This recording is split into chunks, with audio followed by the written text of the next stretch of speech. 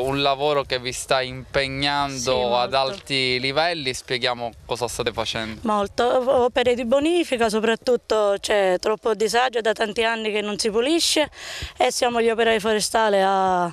cerchiamo di fare il nostro meglio, però ci fanno passare la, la buona volontà a lavorare, soprattutto per la paga perché non abbiamo riscontrato quello che dicevano.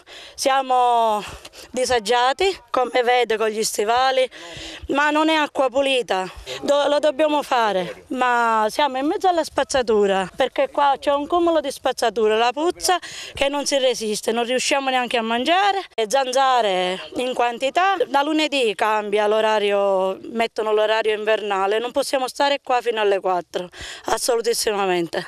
Bisogna capire che il lavoro che stiamo svolgendo noi è un lavoro di bonifica per salvaguardare tutti e per tutti.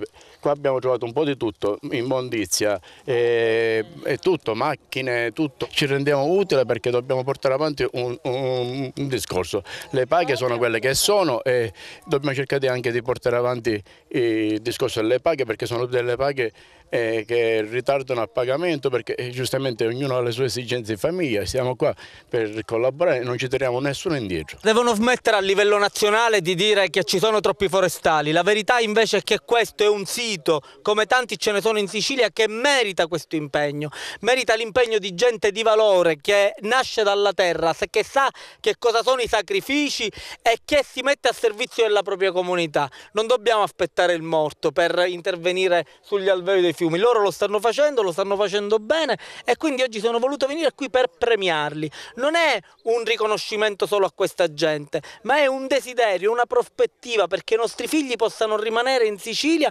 attraverso la produttività del bosco. La Sicilia non è solo il, il mare e il bel sole, la Sicilia è tutte le aree interne e tutte le aree boschive che vanno valorizzate attraverso l'impegno di questi operai. Oggi si rende merito al lavoro importante svolto qui al canale di Scolo della Diga, ma eh, gli operai continuano a chiedere maggiore attenzione da parte dell'amministrazione regionale.